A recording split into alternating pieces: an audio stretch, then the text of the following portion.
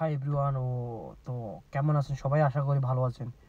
তো আজকে ভিডিওটা হচ্ছে যাই যে ইন্ডিয়ার ভার্সেস যে বাংলাদেশের যে সমস্যা, এটা কীভাবে সমাধান করা যায় আর এটা সমাধান করা কতটুকু জরুরি, এটা কি আসলে সমাধান করা যৌক্তিক কিনা বা না অযৌক্তিক তো এই ব্যাপার নিয়ে কিছু কথা বলতে চাই।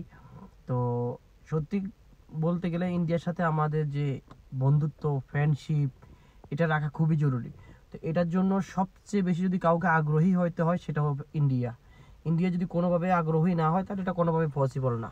তো আশা করি এখন আপনারা সবাই জানেন ইন্ডিয়ার বর্তমান যে একটা পরিস্থিতি, তাদের যে পাড়া প্রতিবেশী কোনো দেশের লোকই তাদের সম্পর্ক ভালো নাই।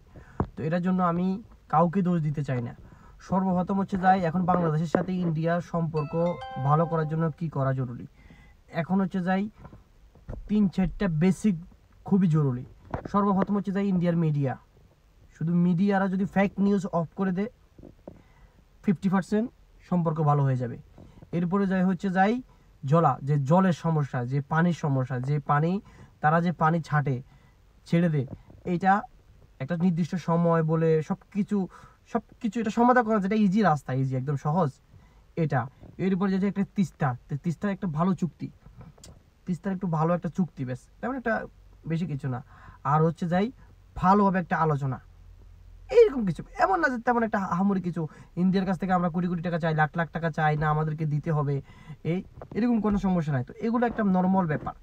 আর যেটা সবচেয়ে বেশি, এগুলো হচ্ছে যে একটা রাজনীতিক কথা বলছি। এখন ইন্ডিয়া কি করা উচিত? ইন্ডিয়া এখন বাংলাদেশের আঠারো কোটি মানুষের যদি মন জিততে চায়, তাহলে শেখ হাসিনাকে তারা- তারা যদি ওয়াপেস করে। তাহলে আমি বলতেছি আর কোনো মানুষ ইন্ডিয়ার সাথে ইন্ডিয়াকে ঘৃণার চোখে দেখবে না।